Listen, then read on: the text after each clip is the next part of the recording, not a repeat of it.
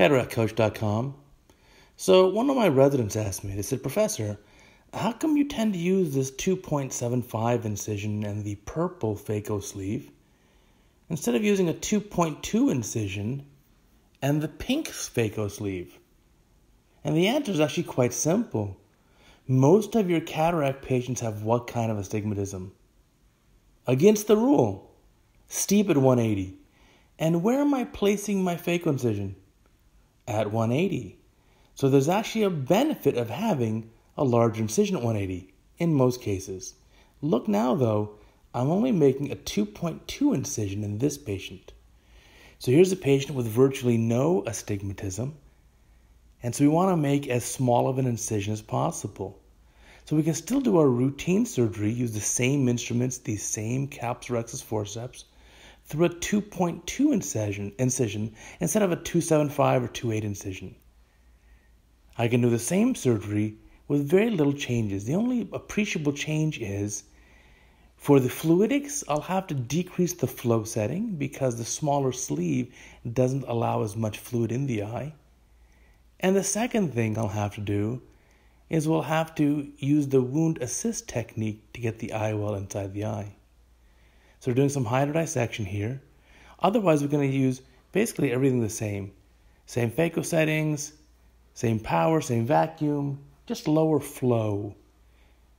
So we've dropped our normal flow from 50 or 60 cc's a minute to about 40 cc's a minute. There's the phaco probe with the pink sleeve, buzzing in the center of the nucleus, digging in the chopper, Boom, we've got two halves. Now we can fully separate those two halves, bring that one half up, and we can emulsify it, or if need be, we can further sub-chop it. So certainly you can do phaco surgery through smaller incisions. In fact, one company tried to popularize 1.8 millimeter phaco surgery. There have been some prominent surgeons who've advocated for one millimeter, even sub one millimeter phaco surgery. But I think we've all figured out that there's a balance. The tinier incisions have much less flow. Remember Poiseuille's equation, how the flow varies in respect to the size of the tubing. And so if we have a very small tubing here, very small bore, it flows little, very little fluid. So I think that's why most of us have settled somewhere in the 2 range 2.2, 2.4, 2.6, 2.8 millimeters wide. Those are the typical types of phaco incisions. So here we go, removing the very last piece of the cataract material. And again, for patients who have, against the rule astigmatism, steep at about the 180 degree meridian, the slightly larger incision actually helps their astigmatism. IA probe going in the eye, again with the pink sleeve, so it'll go through the smaller incision. The rest of the instrument is the same. The only thing that's changed is that silicone sleeve. For this machine, the purple is slightly larger, about 2.7, 2.8 incision, and this pink one, which is translucent, is about a 2.2 or depending 2.4 millimeter incision. So removing the rest of the cortex, and as you can see, even with this lower flow setting, we're still very efficient for the surgery. Looks like we'll complete the whole surgery in just about five and a half minutes.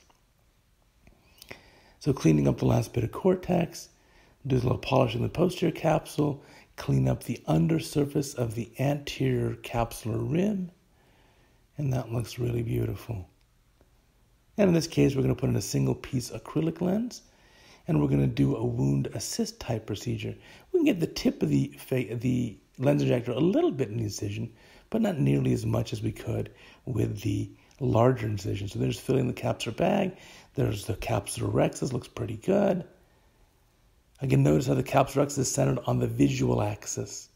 And here we go. Actually, we got the whole tip inside. This is a Monarch D cartridge, D like dog. That means it's very tiny. And it can actually go inside that smaller 2.2 or 2.4 millimeter incision. So centering up the lens here, letting the haptics unfold.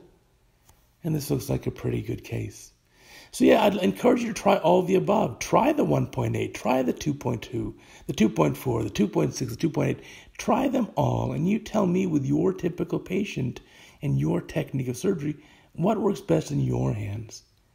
And for me, I'm happy to do anything that serves the patient uh, the best because the majority of our cataract patients have uh, steep axis at 180 or against the rule astigmatism. I tend to prefer a 275 or 28 incision. And if I need to, like in this case, or perhaps in a case with prior RK where there's less room to place the incisions, I'll certainly use a 2.2, 2.4, or even smaller phaco incision. Whatever it takes to give the patient the very best outcome. And I encourage you to be able to do the same thing for your patients. Thank you guys for watching. We sincerely appreciate it.